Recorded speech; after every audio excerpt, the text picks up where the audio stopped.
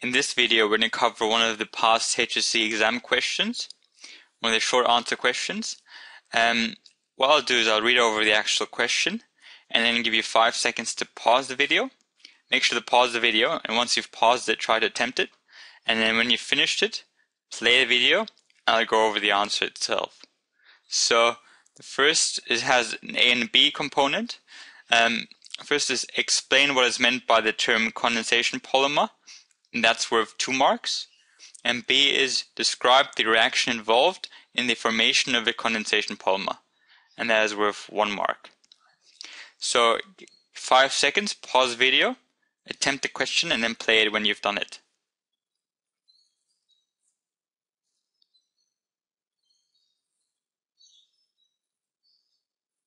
Alright, so for, for the very first one, for A, it's important to look at the verb. The verb says explain, so what is meant by explain is need not just be able to identify. Identify would be uh, what is a condensation polymer. Cellulose is a condensation polymer. Explain means you need to be able to describe and uh, give more detail in terms of what a condensation polymer. You need to be able to explain what it is. So explain means yeah, what is it, and give some details. It's not supposed to be just identifying, it's more than that, give some detail. So you need to be able to explain both what a polymer is and what a condensation polymer is. So if you can do that in your answer, you should get two marks.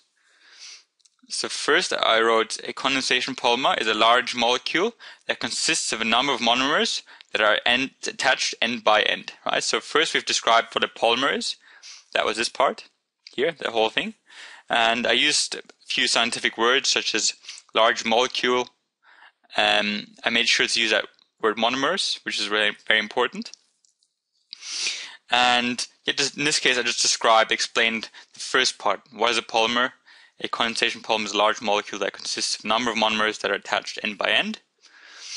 And then the second part is I explained what a condensation polymer was. So the monomers are able to join together due to condensation reactions at the expense of a small molecule that condenses out, usually water. So you're going to use some of the scientific words such as condensation reaction. Um, obviously, I made sure that, that I wrote that the monomers join together. So from a couple of monomers, you go into a polymer. And also, very importantly, I um, added the small molecules that are condensed that condenses out, usually water. So you could have written, you know, small molecules are lost.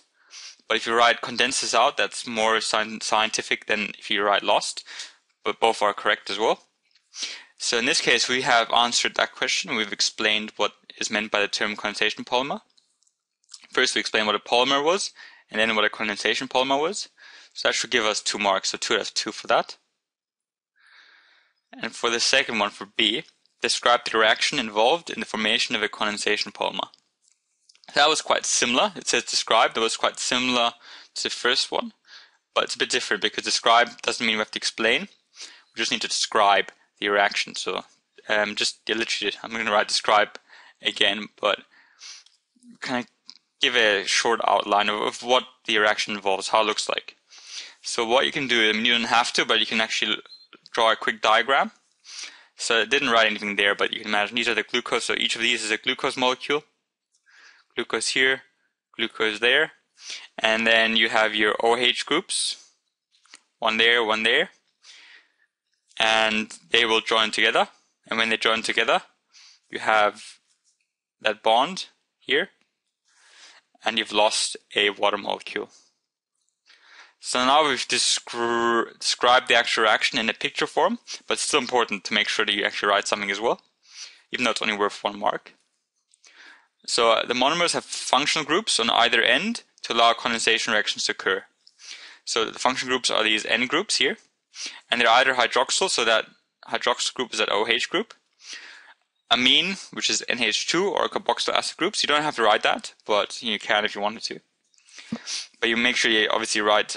For example, if you if you write um, draw a diagram of a glucose two glucose monomers attaching, make sure that the functional group is that hydroxyl group.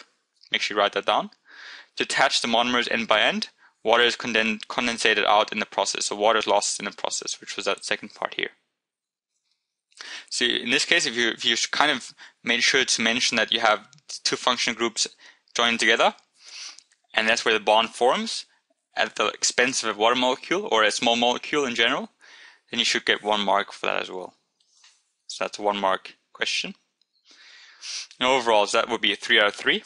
So I hope that was useful.